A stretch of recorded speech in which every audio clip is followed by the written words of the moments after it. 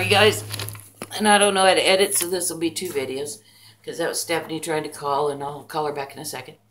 So basically, I've told her to talk to her body first, reassure it that it's coming with her, tell her human body what they can expect in fifth dimension and how much freedom and fun it will be.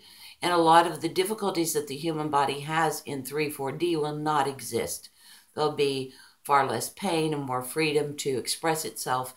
And she should be able to rectify that problem pretty quickly. But the ego that is also involved will be the tricky aspect. It is seriously in charge in this situation.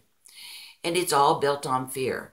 So, really, it's going to, you cannot go up against the ego that's been around so long and built up so, so much because its job has been to go against formidable opponents.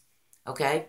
So you want to come at it kind of sideways, like a teenager that you've got to convince to do a right thing. Okay? Sideways. From a loving place.